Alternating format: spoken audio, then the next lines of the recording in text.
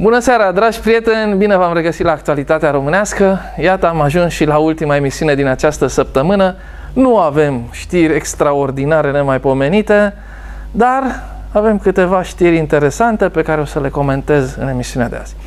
În primul rând, acest, această furtună imensă într-un pahar cu apă legată de pușcăria din România, legată de condițiile de arest legată de arestările care sunt mai mult sau mai puțin argumentate și justificate. Iată, ministrul justiției Robert Kazanciuc, răspunzând nenumăratelor critici din ultimul timp cu privire la calitatea pușcărilor din România, a declarat că este nevoie de un miliard de euro pentru a construi mai multe penitenciare care să acopere deficitul de aproximativ 11.000 de locuri în momentul de față. Citesc din maestrul Kazanciuc, reputat jurist, eminență cenușie a justiției românești. Deci, este nevoie reală de un miliard de euro pentru a construi mai multe penitenciare care să acopere deficitul de 10-11.000 de locuri în momentul de față. Asta înseamnă penitenciare noi, plus investiții în penitenciarele vechi, pentru a încerca să le aducem la limita demnității umane. A declarat Robert Kazanciuc. Am de comentat la greu pe această declarație. În primul și în primul rând, acest Kazanciuc nu-i sănătos mental, e trililili, e dus cu Sorcova. Ăsta nu știe ce înseamnă un miliard de euro. Uitați, ca să dovedesc, pentru că nimeni la niciun post de televiziune, pe niciun canal mass media, nu a realizat enormitatea spusă de acest individ. Haideți să facem un simplu calcul împreună. Păi, dragii mei, în România, ca să construiești un bloc, care poți să zici că să construiești un bloc sau o pușcărie, ajungi cu pușcăria cam pe la jumatea costurilor de apartamente de bloc, nu? Că nu poți să coste condițiile dintr-o pușcărie cu condițiile dintr-un apartament decent, adică ar fi aberant. Deci, în România costă metru pătrat de locuință la bloc cu condiții bune costă, ca să-l faci, aproximativ 500 de euro pe metru pătrat. Să zicem că în România o să construim pentru pușcăriași nu pușcării, nu standard de pușcărie, ci standard de locuință cu mare cetățean onest de treabă, cum se cade. Și să zicem că faci pușcările cu 500 de euro metru pătrat. Ei bine, un miliard de euro împărțit la 500 de euro metru pătrat, să vedem cam câți metri pătrați de pușcărie se pot construi cu un miliard de euro. Păi un miliard împărțit la 500 de euro metru pătrat vine 2 milioane de metri pătrați. 2 milioane de metri pătrați de pușcărie. Sună imens, nu? Dar asta e adevărul, împărțiți. Un miliard, la, dacă nu mă înșală pe mine matematica, așa e. E o stare de tot la matematică. Deci, 2 milioane de metri pătrați. Să zicem că pentru un singur pușcăriaș aloci 5 metri pătrați. Adică, să zicem că într-o cameră de 10 metri pătrați stau doi pușcăriași și nu patru, cum stau astăzi. Da? Astăzi am înțeles eu, din ce am citit pe internet, revin cam 3 metri pătrați pe pușcăriaș, spațiu locuibil în pușcărie. Ei, să faci de la 3-5. Deci să fie într-o cameră de 10 metri pătrați, 2 pușcăriași. Deci 5 metri pătrați de pușcăriași. Păi, 2 milioane de metri pătrați pe care îi poți construi de pușcărie de lux, în condiții de apartament de român normal, de cetățean liber al acestei țări. Deci, iese 2 milioane de metri pătrați împărțit la 5, 400 de mii de locuri pentru pușcăriași în România. Deci cu un miliard de euro poți să construiești 400 de mii de locuri de pușcărie. Păi, dragii mei, m-am interesat. Știți câți oameni sunt astăzi în pușcăriile din România, în total? Toate pușcăriile și tot ce este arest în România. 32 de mii. La 32 de mii hai să zicem că mai sunt încă 2000 care sunt în arest la domiciliu, care fac pușcăria în palate. 34 de mii. La 34 de mii mai puneți încă 600 de parlamentari care urmează să intre în pușcărie, rotund 35 de mii. Mai puneți încă 1000 care sunt secretari de stat și care mai sunt țuțări pe lângă guvernul actual, încă 1000, 36 de mii rotund. Bă, hai să zicem, încă 4 mii să zici că scoți câte 100 din fiecare Consiliu Județean și primării din toate județele. 40 de mii. Păi ajungi cu totul la 40 de mii. Păi mă, Cazanciucule, păi cu un miliard de euro tu faci nu 40 de mii de locuri noi, adică să-i bași pe toți în pușcării number one, first class. Nu, faci 400 de mii. Deci, fraților, e aberant, e o nebunie. Țăcănitul ăsta, zbanghiul ăsta, nu realizează că cu doar 100 de milioane de dolari poți să faci încă atâta și ceva capacitate de pușcării la first class. Adică cum eu nu cred că e nici în Germania. Eu nu cred că pușcăriașul stă în Germania sau în uh, Suedia în uh, calitate de apartament cum stă românul de rând. Să-mi fie cu iertare. Nu pot să cred așa ceva. Că ai calitate locativă în pușcărie în Germania, cum e calitatea blocului în care locuiește 90% din populația României. Nu pot să cred. Ei bine, și totuși, dacă faci la calitatea aia, cu 100 de milioane, nu cu un miliard, mai scoți încă o dată capacitatea actuală și ceva. De unde a scos idiotul ăsta un miliard de euro? Nu-mi imaginez. Pe lângă asta. Bine, el s-o fi gândit în felul următor. Mă costă 100 de milioane să mai fac încă atâtea locuri de parcare pentru infractori, pentru parlamentari și șpăgile după aia. Da, corect. Șpăgile care trebuie să urce și ele de la 100 de milioane până la un miliard. Diferența de 900 de milioane sunt șpăgile pentru ăștia care o să semneze. Pentru Cocoș, pentru Pescariu, pentru Udrea, pentru Ponta, pentru Șova, pentru Popoviciu, pentru toți. Adică, vă dați seama că, nu.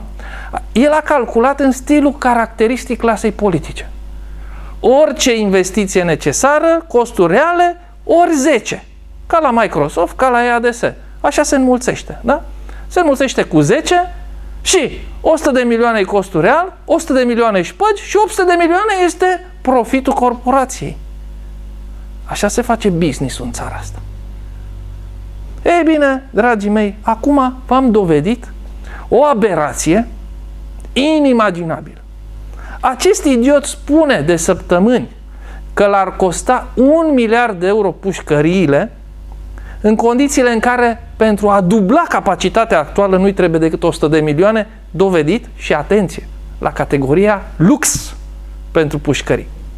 Dar, mă întreb eu de ce trebuie 100 de milioane, chiar și 100 de milioane alea cheltuite, când în țara asta sunt spații imense disponibile, funcționale, nefolosite, care înainte erau cazărmi militare.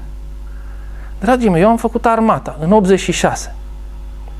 Am făcut armata la batalion disciplinar, chiar dacă eram student și ar fi trebuit să fac la termen redus cu studenții, dar am făcut la batalion disciplinar pentru că n-am vrut să fiu comunist, pentru că mi-am depus actele să plec definitiv din țară, pentru că eram o problemă pentru sistemul comunist, pentru că și vorbeam prea mult și vorbeam și rău de comuniști și eram un anticomunist, chiar dacă nu am fost ca și alții profitor și nu m-am dus să cer scutiri de impozite și chestii de genul ăsta, eu chiar am avut de suferit. Pe lângă faptul că am fost la canal, am fost și la batalion disciplină. Adică m-am dus cu tereu, cu studenții, cu colegii de facultate, dar au venit de acolo și m-au luat și m-au dus la batalion disciplinar. Dar vreau să vă spun, toate cazărmile militare, că eu am fost în total în trei cazări militare pe timpul armatei, toate erau un regim de pușcărie. Adică înconjurate cu gard, cu sârmă ghimpată, cu santinele. Deci din, din, din aceste cazări militare nu puteai să ieși, la fel cum nu puteai să ieși nici din pușcărie. Cazărmile militare pe vremea lui Ceaușescu aveau același regim ca pușcăriile de azi. Pur și simplu, ca să ieși din cazarmă, trebuia să evadezi. Îți riscai viața. Ca militar, atenție, ca om liber. Dacă vrei să te duci să-ți cumperi o prăjitură, îți riscai viața. Așa era pe vremea lui Ceaușescu. E bine, dragii mei, toate aceste cazărmi militare de pe vremea lui Ceaușescu astăzi sunt goale, nefolosite, inutilizabile, la nimic, dar care s-ar putea transforma peste noapte în pușcării. Fără niciun fel de cheltuieli. Mai mult, aveau și grilaje la geamuri. Nu știu de ce era nevoie, dar aveau. Ca să nu fugă soldații. Mă rog. Deci toate s-ar putea transforma în pușcării fără niciun fel de cheltuială. Toate au garduri, au sârmă ghimpată, au posturi de santinele, au tot. Până și condițiile. Eu zic că sunt... Nu cred că aveau soldații pe vremea lui Ceaușescu condiții inumane. La limita demnității umane, ca să-l citesc pe idiotul de Cazanciuc. Păi, dragii mei, ce vreți să le oferim pușcăreașilor? Recompensă? Eu nu zic că trebuie omorâți.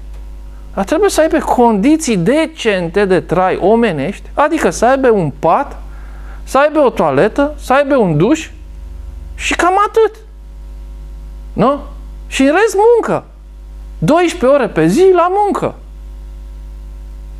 Ca să-și câștige, să scoată cheltuiala, adică mâncarea, și cheltuielile de cu pază și cheltuielile administrative ale pușcăriei și așa mai departe, pentru că nici asta nu e normal ca pușcăria să fie un balast pentru societate, cum aud acum că pentru un pușcăria se cheltuiesc 2500 de lei pe lună. Și pentru un copil e alocație 40 de lei. Și pentru un copil orfan e 80 de lei pe lună. Este inadmisibil. Pentru un pușcăreaș 2500. Și el face sport, face jogging, are uh, lectură, are televizor, are sală de aerobic și mai vin și uh, ăstea, santinelele ăstea, infirmierele și prestează. Ha? Adică au și alimentar în cadrul pușcăriei. Păi, dragii mei, nu vă supărați. Eu cred că te duci acolo la pușcărie pentru că ai făcut ceva rău și ești pedepsit. Nu ca să fii recompensat. Păi dacă ai greșit, trebuie să te duci acolo să știi că ți-e frică să ajungi acolo, că e un loc foarte rău. Și nu pentru că aș vrea să le fie rău pușcăriașilor, ci pentru că eu cred că trebuie să știe atunci când vrea să comit o infracțiune că îl așteaptă pușcăria un loc foarte rău.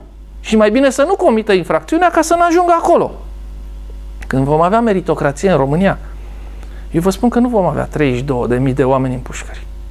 Eu vă garantez că nu vom avea nici 2000. Eu vă garantez. Pedepsele vor fi atât de grave. Condițiile vor fi atât de aspre în pușcării. Și voi avea grijă să mediatizez condițiile alea. Încât nu va mai fi decât un nebun în stare să comită o infracțiune, să riște, să ajungă în pușcărie. Se va gândi de 10 ori înainte să o comită. Înainte să ia șpaga. Sau înainte să comită un viol sau ceva. Se va gândi de 100 de ori, va zice, bă frate, ia uite unde ajung după aia. Uite ce au arătat la televizor. Păi mai bine nu o comit. Păi nu, mai bine stau și mă abțin. Și eu vă spun că nu vor fi, va dispărea în România infracționalitatea, ca în vremea lui Vlad Țepeș va fi în, în meritocrație. Ăsta este scopul unei societăți normale în secolul 21. Să protejeze omul curat, omul cinstit, omul cu minte și să-l descurajeze păticălos. Păi cum îl descurajezi păticălos? Oferindu-i pușcărie cu aer condiționat și cu sală de aerobic și cu sex o dată pe săptămână și cu concedii? În felul ăsta îl descurajezi, în felul ăsta îl încurajezi. Nici nu-i de mirare că sunt pușcările pline și că este un fluviu imens de indivizi certați cu legea care se îndreaptă spre pușcării. Se întâmplă lucrul ăsta pentru că atunci când vrea să comite infracțiunea, pune în balanță ce câștig? Păi dacă, o, dacă iau șpaga, se poate întâmpla unul din cele două lucruri. Să mă prindă și să mă duc la, ca la un hotel de categorie mai slabă sau să mă îmbogățesc dacă nu mă prinde. Merită riscul? Merită, tată. Ce risc? Cel mult un an, doi de hotel de categoria a treia? Nicio problemă. Dar, atenție, chestia asta este încurajată prin lege. Prin lege și prin condițiile din pușcărie. Condițiile în pușcărie nu trebuie să fie la limita demnității umane. trebuie să fie sub limita demnității umane. Trebuie să fie cumplite. A, nu-ți convine că sunt sub limita demnității umane? Păi dar cine te obligă să ajungi acolo? Dar cine te obligă să comiți infracțiunea? Nu comite și nu ajungi acolo, e simplu de tot că pușcăria nu e obligatorie. Pușcăria este facultativă. Ajungi acolo doar dacă ține apărat. Dacă nu vrei pușcărie, stai cu minte în banca ta, nu lua șpagă, nu fă trafic de influență, nu lovi, nu ucide, nu fura, nu jefui și te ajungi acolo. Dar dacă totuși o faci și o faci conștient fiind, atunci meriți.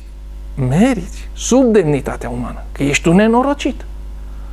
Deci, eu nu știu de ce ar trebui protejați pușcăriașii. Chiar nu înțeleg. Dar, atenție, protejându-i și oferindu-le condiții mai bune, cu cât sunt mai bune condițiile, cu atât mai încurajați vor fi să riște, să comită infracțiuni. Ei bine, altceva este interesant tare în ziua de azi.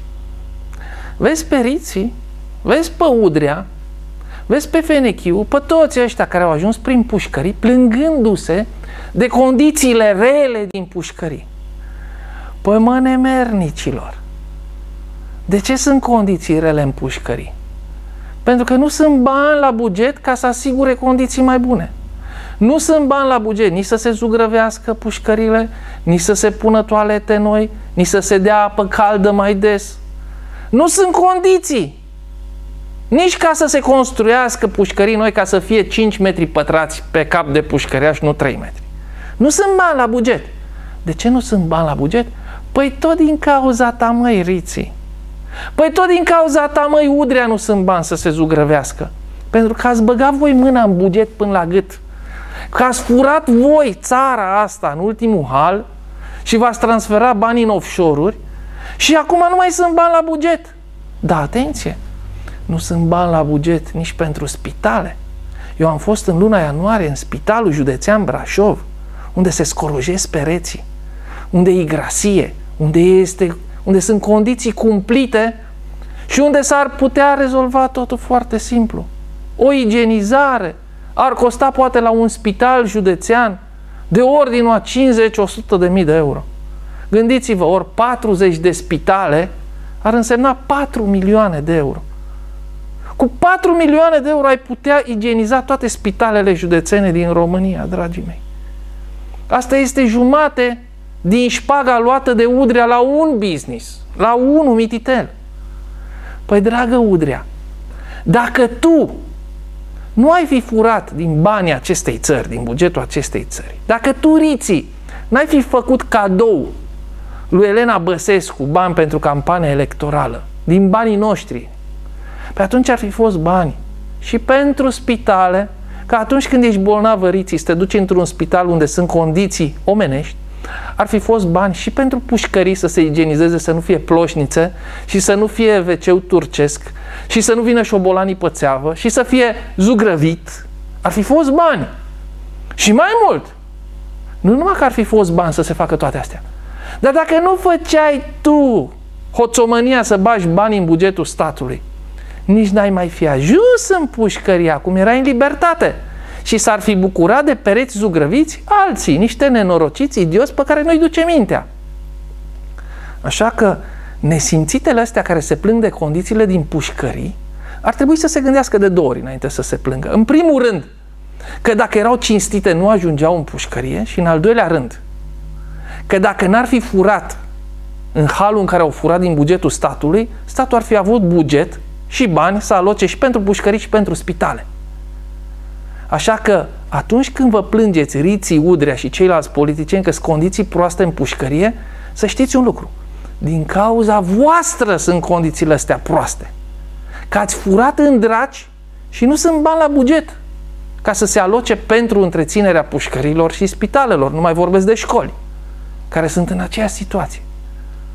Pentru că numai din ce ați furat din Microsoft și ADS, țara asta ar fi avut bani să facă școli să facă spitale și pușcării la standarde omenești. Așa că, iată, cine sunt cei ce se plâng? Iată cum este furtul ăsta din bugetul statului o sabie cu două tăișuri. Ei nici nu s-au gândit atunci când furau că o să ajungă să sufere tot ei din cauza că au furat. Suferă de două ori. Odată că intră în pârnaie și în al doilea rând că în pârnaie sunt condiții cumplit de rele. Dar să ai nesimțirea ca totul să te plângi de condițiile din pușcărie, mare tupeu. Mare tupeu, mare nesimțire. Eu mă bucur pentru ei și vă spun drept că atunci când vom avea meritocrație în România, nu vom avea condiții mai bune pentru pușcăriași. Vor fi aceleași condiții, dar vor trebui să muncească 12 ore pe zi, dacă vor vrea să primească un colț de pâine și o cană cu apă. Vor trebui să muncească și dacă nu vor scoate cheltuielile de întreținere ale pușcăriei, nu vor primi nici aia. Vor trebui să-și aducă de acasă, să le trimită neamurile, că dacă nu, nu vor primi de mâncare. Pentru că asta înseamnă o societate logică, normală. Băi, nu-ți plac condițiile. Dar cine te obliga să vii în pușcărie, mă? Cine te obliga, mă, să furi? Cine te obliga să ieși șpagă? Păi dacă nu-ți plac condițiile, fă în așa fel încât să nu ajungi aici. Ei bine, dragii mei, îmi scria un spectator, un telespectator, după emisiunea de ieri, un mesaj foarte interesant.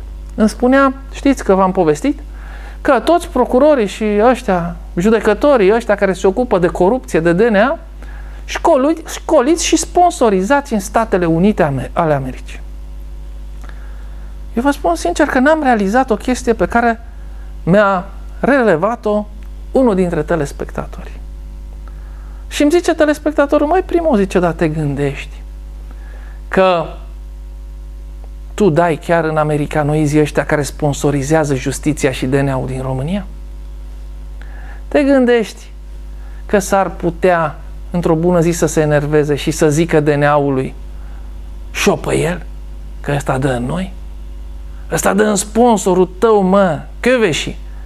Păi tu vezi, mă, că primul ăsta mușcă mâna care te hrănește pe tine? Ia sari pe el. Da, corect. Vă dați seama? Unde se ajunge când toată justiția ta, când dreptatea se împarte într-o țară, de către niște oameni care sunt sponsorizați și hrăniți, de către o anumită forță și nu de către un stat independent? Vă dați seama că americanii pot acum, prin intermediul DNA-ului, să închidă gura oricărui cetățean român care vorbește în mod democratic împotriva intereselor americane în zonă? Păi în ziua de astăzi, oricine vorbește împotriva americanilor poate să fie hărțuit, poate să fie băgat în tribunale, judecat, condamnat pe nedrept, poate să îi se însceneze pe motiv că încurcă pe cine? Pe sponsorii DNA-ului. Păi dacă DNA-ul, dacă judecătorii, procurorii sunt la mâna americanilor și tu vorbești contra americanilor, cum mai poate fi țara asta libertate de exprimare? Păi acum îmi explic de ce toate posturile de televiziune sunt pro-americane. De ce toate mijloacele mass media vorbesc pe față, subiectiv, total lipsit de obiectivitate în favoarea americanilor și împotriva rușilor. Păi acum am explic. Păi când știi că ai o firmă în insolvabilitate, cum e Realitatea TV, când știi că oricând tu ca patron al Realitatea TV poți să ajungi la pușcărie,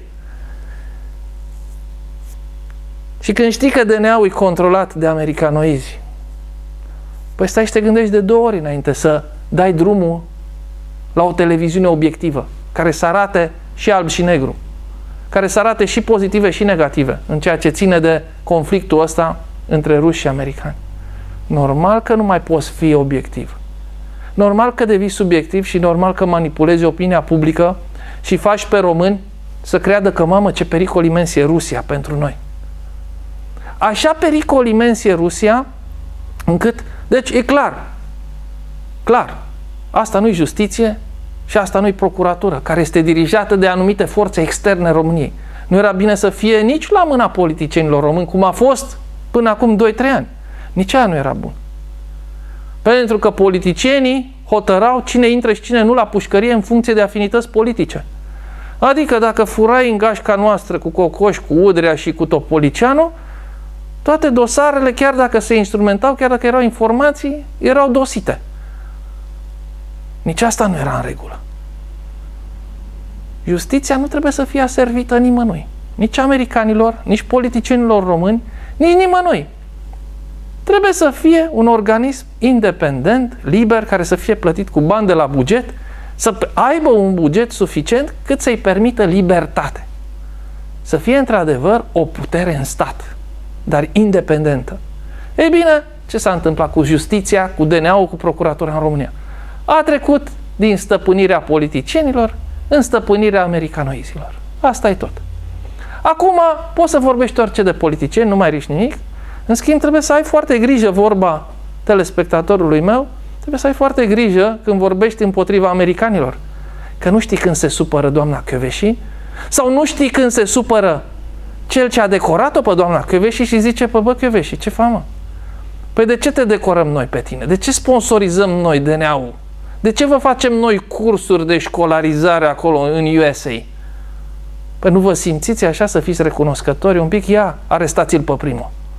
Păi pentru ce? Păi cum? Îi găsiți voi, lasă. Păi uite, de exemplu, o declarație, nu? Ați văzut cum se intră astăzi în pușcărie? Pe bază de declarație.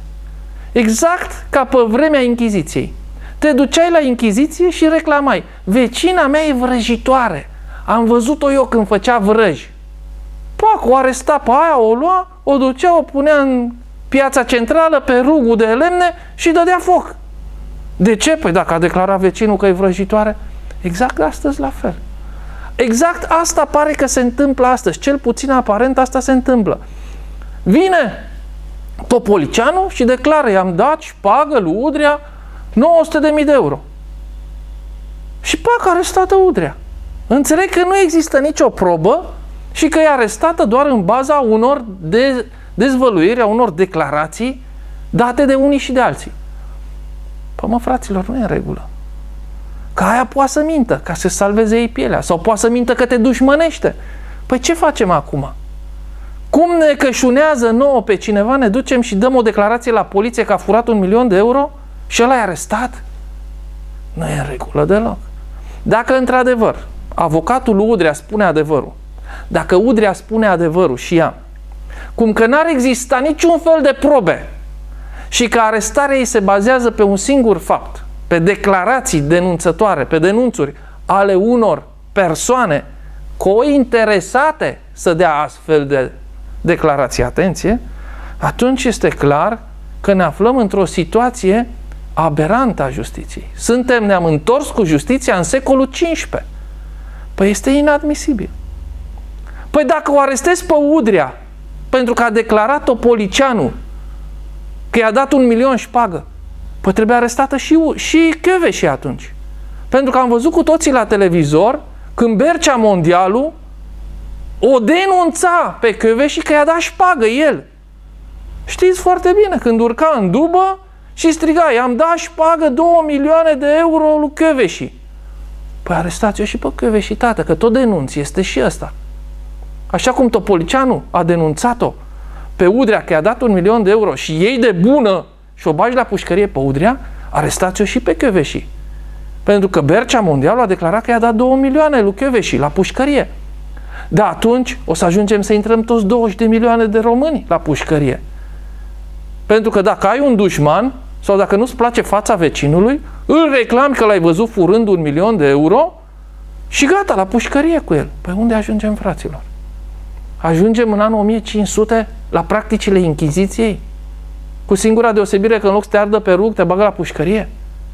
Cum să bași pe cineva la pușcărie fără să ai probe concludente doar în baza unor declarații, a unor denunțuri, care pot fi foarte bine niște denunțuri mincinoase?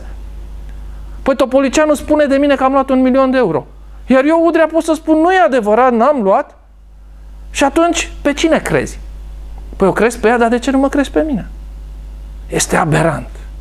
Adică s-a ajuns, dar mai mult, cei ce sunt dovediți că au luat banii, că au luat șpaga, că aveau șpaga, al de pescariu, al de topoliceanu, breazu și așa mai departe, ăia nu sunt în pușcărie.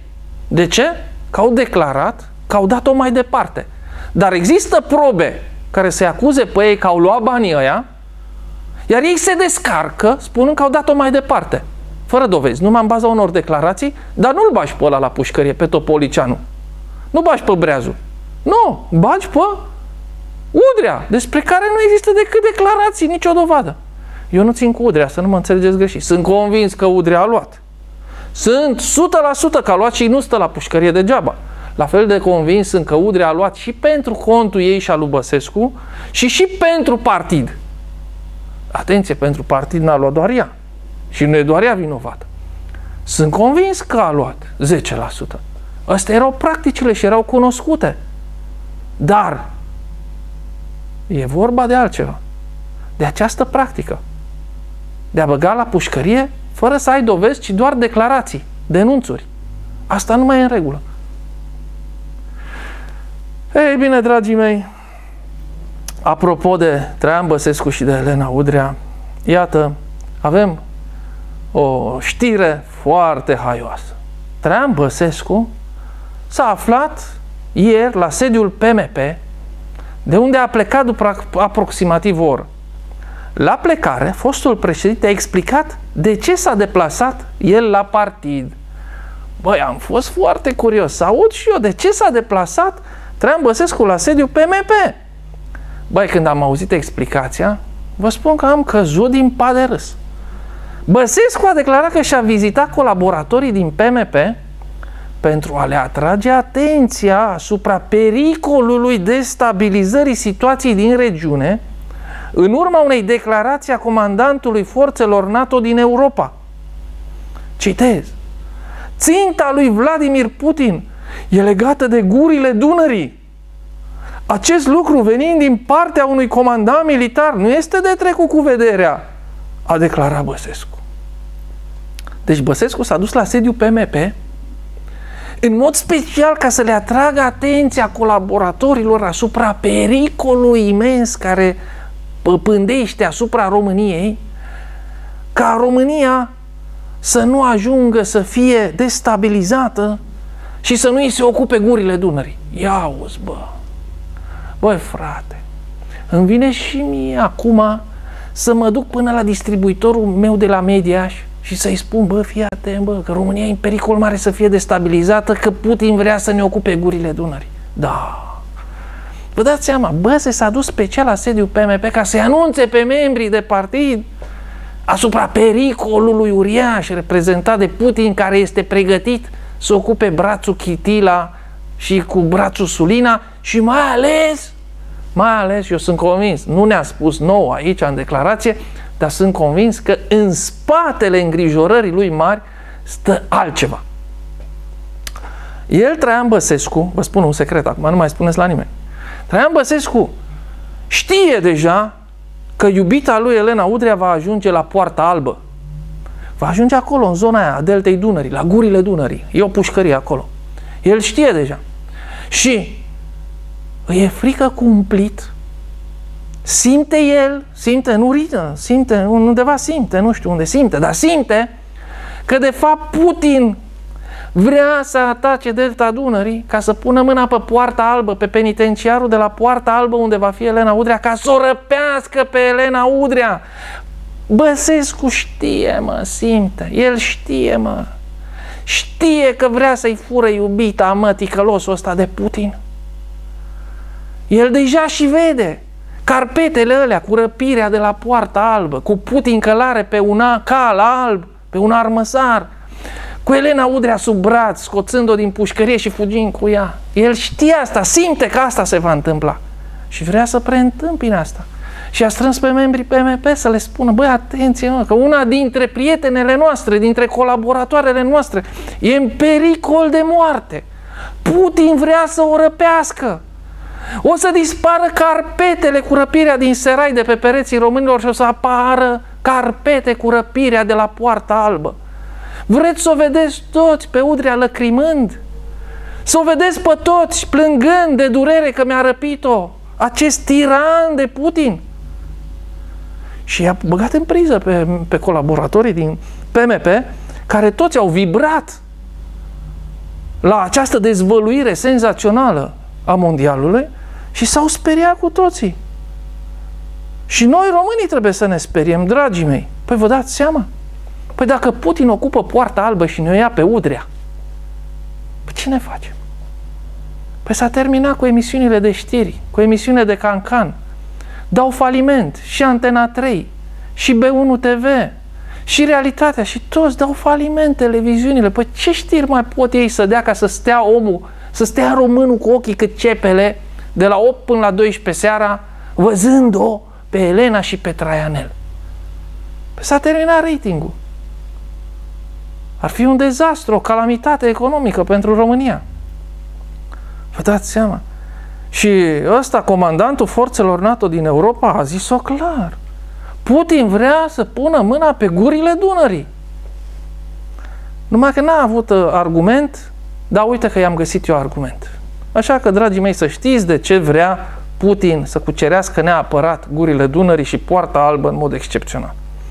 Dar problemele mari pentru Europa, dragii mei, nu vin nici de la Putin, nici de la poarta albă, nici de la gurile Dunării, nici din Ucraina. Problemele mari pentru Europa vin din problemele economice imense de sistem care există astăzi în Europa.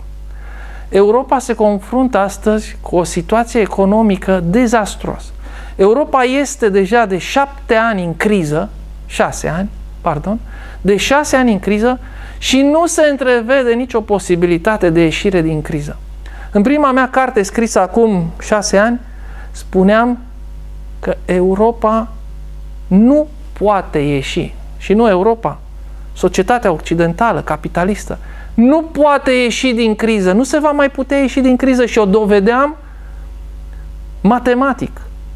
Nu se poate ieși din criză, din criza economică, decât prin schimbarea sistemului. Păstrând sistemul acesta capitalist, neoliberal, nu se mai poate ieși din criză. De ce? Pentru că este un cerc închis. Din cauza sistemului social, din cauza sistemului economic, deficitele, gradul de îndatorare a statelor crește. Criza se adâncește. Este o spirală a crizei care se amplifică. Nu numai că nu e oprită criza, deficitele, datoriile nu sunt oprite, dar cresc toate astea. Criza este tot mai groaznică și este tratată cu algocalmin. Practic, tot ceea ce se întâmplă astăzi este o criză nesfârșită la care conducătorii lumii occidentale găsesc uh, antidot de genul algocalmin pentru infecție la măsea. Asta nu este un antidot. Doar se bagă sub preș mizerie și se bagă și se bagă și de la un an la altul e mizeria mai mare sub preș. Dar nu există rezolvare. Iată acum la ce au ajuns. După ce americanii, fiind într-un impas incredibil, au găsit o soluție de moment prin tipărirea de bancnotă de dolar prin Federal Reserve, iată, a ajuns și Uniunea Europeană la aceeași soluție, pentru că nu mai există altă. Pentru că datoriile uh, suverane, datoriile statelor, au ajuns atât de mari, încât riscă să scufunde întreaga economie, să blocheze toată economia. De ce? Pentru că un stat, când are, să zicem, cum e Italia, când ai uh, datorie 110% din PIB, păi ca să-ți plătești datoriile anuale, tranșele de datorii anuale, să plătești alea și să mai plătești și dobânda, ar însemna să tai la jumate salariile și pensiile, salariile bugetarilor și pensiilor. Ceea ce este imposibil de făcut. Pentru că dacă faci asta, arunci țara în revoluție. Și atunci ce poți să faci? Păi trebuie să plătești datoriile. Trebuie să plătești și dobânda. De unde să le dai? Dacă intri în buget, provoci revoluție și automat schimbarea sistemului. Asta este chestia care le convine lor cel mai puțin. Păi celor ce conduc astăzi societatea occidentală le poate conveni revoluția? O revoluție care să schimbe sistemul? În niciun caz. Că ei sunt profitorii sistemului. Ei sunt singurii. Conducătorii lumii occidentale sunt singurii care se bucură de acest sistem. Noi, 95% din populația lumii occidentale, suntem cei ce suferă din cauza sistemului. Ei, conducătorii, sunt cei 5% care profită și se bucură de sistemul actual. Asta este sistemul actual. capitalismul neoliberal și democrația de căcat politico-mafiotă în care trăim în toată lumea occidentală. Asta este. 5% trăiesc foarte bine și 95% foarte prost. Ei bine, o schimbare de sistem nu le-ar conveni în niciun caz celor 5% profitori ai sistemului actual. Și pentru asta trag măța de coadă cât pot de mult. Găsesc fel de fel de soluții să o mai lungească. E, găselnița asta americanoizilor cu Federal Reserve este aplicată acum în Europa. De ce? Pentru că Europa a ajuns și ea la scadență. Veți spune, bine, dar e o idee bună, ați văzut, americanii au tipărit monedă și acum au bani, poate să plătească pensii, poate să plătească tot ce trebuie, o duc bine. Na, na, na. Aparent. În realitate, problema a devenit mult mai gravă decât era. De ce? Pentru că acel uh, excedent de monedă să acum vă dau așa un exemplu care nu este exact. Dar, ca să înțelegeți mai bine fenomenul, fiind excedent de monedă americană, de monedă fără acoperire, tip, prin tiparniță, bani falși, banii au ajuns undeva. Unde? Păi la cel mai mare beneficiar al diferenței de balanță comercială dintre importuri și exporturi americane.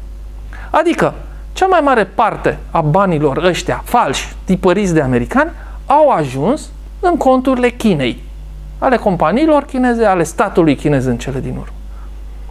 Ei bine, statul chinez ce face cu banii ăștia? Păi, statul chinez știe foarte bine că ăștia sunt bani falși, fără valoare, că sunt bani inflaționiști. Și atunci ce face statul chinez? Cu banii ăștia cumpără aur. Puteți să consultați, să vedeți, cel mai mare cumpărător de aur din lume este China. Și ce face China? Cumpără aur. Păi dacă, de unde cumpără aur? Păi cel mai mare deținător de aur, oficial, cel puțin în, în uh, scripte, este Statele Unite ale Americii. De unde cumpără China aurul? În mod direct sau indirect, de la Statele Unite. Ei bine, China cere aur să cumpere. Statele Unite trebuie să-l ofere. Veți zice, bine, dar interesat Statele Unite să vândă aurul cât mai scump. Nu e așa. Că dacă îl vinde scump, înseamnă că creează inflație. Înseamnă că fiind cerere mare de aur din partea Chinei, dacă lași prețul aur să crească, creezi inflație pe dolar. De ce? Pentru că un, un gram de aur nu mai valorează 30 de dolari, ci 40 de dolari. Asta înseamnă inflație, înseamnă că s-a devalorizat dolarul. Și atunci, păpușarii, prin băncile lor sunt patru ba- mari bănci în lume care dictează prețul aurului și care îl fac după cum vor ei, după cum vor mușchilor, care sunt toate aceste bănci controlate de păpușărime, ei bine, aceste bănci au tot interesul să țină prețul aurului jos. De ce? Pentru ca excesul de dolari falși produși de Federal Reserve să nu se regăsească în inflație. Pentru că asta ar distruge economia americană și nu doar economia americană. Și atunci ține artificial cursul aurului la un preț jos. Pentru ca, repet, masa de dolari tipărită să nu se regăsească în inflație. Chinezii se bucură de chestia asta. Chinezii se bucură oricum. Dacă prețul aurului e menținut artificial jos, înseamnă că ei își valorifică stocurile mari de dolari în cantități mari de aur. Și vor avea de câștigat mai târziu. Dacă păpușarii dau drumul la prețul aurului, la liber, să se autoregleze după cerere și ofertă, atunci cererea de aur fiind foarte mare, crește prețul, creează inflație la dolar și distruge economia americană. Și atunci ei preferă să țină prețul aurului jos. Numai că ținând prețul aurului jos, fiind stocuri mari de dolari în piață, s-au golit rezervele de aur. Fort Knox, marele depozit de aur al lumii, al Statelor Unite, este gol astăzi. Toți cei ce și-au depozitat aur în Statele Unite au rămas fără el. Nemții au cerut să recupereze tot aurul depozitat în America. Li s-a spus pas, nu puteți. Nu vi-l dăm înapoi. Dragii mei, nu că nu vor să-l dea înapoi, nu-l mai au. Pentru că au răspuns cererii de aur venite din China și din Rusia, care la fel a cumpărat aur în draci, știind care este adevărul cu privire la puterea dolarului și nedorind să aibă hârtie igienică în stoc, ci preferând aurul, au cumpărat și rusii și chinezii aur în draci. Ei bine, până acum au avut de unde să cumpere. Acum s-au golit rezervele americane. S-au oprit și din tiparniță. Acum au oprit tiparnița americani. Dar acum au ajuns la greu europenii. Au ajuns europenii la, la greu. Repet, americanii au, au salvat situația acum. Practic vânzându-și aurul pe nimic. Practic pierzând din grăsime. Știți, americanii sunt, au fost ca un om durduliu, grăsuț, bine făcut, care nu mai muncea, nu mai făcea nimic, dar nu mai avea nici venituri din ce să trăiască. Și atunci nu prea mai mânca și a avut de unde să slăbească, a slăcăzut grăsimea. De la 120 de kg a ajuns la 50 de kg acum. Cam ăsta este americanul. Asta s-a întâmplat cu Statele Unite. E, numai că acum a venit rândul europenilor. Iată știrea, Banca Centrală Europeană va începe din 9 martie să cumpere obligațiuni, transmite Bloomberg. Mario Draghi, spune Banca Centrală Europeană, este convinsă că va reuși să învingă în lupta cu deflația. La șase ani, după ce Fed a început programul de relaxare cantitativă, Consiliul, Consiliul Guvernatorilor BCE s-a angajat joi ca de săptămâna viitoare să înceapă primele achiziții de bonduri guvernamentale din programul de 60 de miliarde de euro pe lună, a declarat președintele BCE la Nicosia. Euro a atins joi un minim al ultimilor 11 ani față de dolarul american, ajungând la 1,1 euro pentru un dolar. De unde până acum câțiva ani raportul era cam 1,4-1,5. Deci asta înseamnă o depreciere a euro de aproximativ 30%. Nu 30, 25%. Asta ce înseamnă? Asta înseamnă, în termeni reali, că nivelul de trai în Europa a scăzut cu 25%. Le zice cum așa? Că nu simțim. Deci, dragii mei, dacă, de exemplu, înainte vrei să cumperi din America o mașină care costa 10.000 de dolari, o transformai la un curs de 1,45 pe dolari, adică uh, 7.000 de euro, te costa să plătești pentru mașina aia.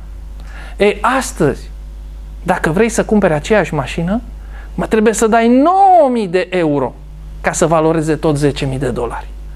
Deci tu, europeanul, dacă vrei să cumperi ceva din America, ți-a scăzut nivelul de trai, pierzi, practic, ai pierdut, că în loc să plătești 7.000 de euro pentru mașina aia, pentru exact aceeași mașină îți plătești 9.000 de euro.